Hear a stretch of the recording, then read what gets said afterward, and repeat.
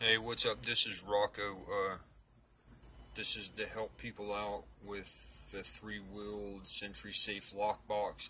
Unfortunately, it's been over like a year or so since I uploaded that video, so I don't have the box anymore, but I have a three three-wheel lock that uh, is basically the same principle, but this one is a bit different. But uh, what you're going to need is a strip of aluminum that's going to fit right in between here. And that is so that you can feel that flat spot that I'm talking about. And I don't believe this one is the same, but it gives you the idea is that when you get your, your finger in there, basically it's a feeler, and you get it in there, you can spin it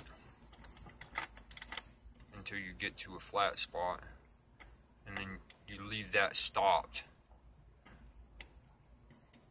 and go off to the next one and do them all till you fill that that flat spot.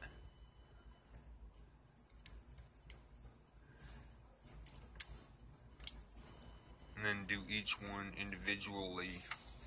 And then when you get the flat spot, you spin them all simultaneously or spin one number and then go to the next number and spin it.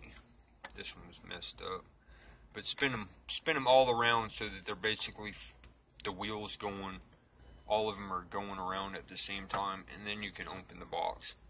But you got to catch those flat spots. If you don't then it's kind of kind of null.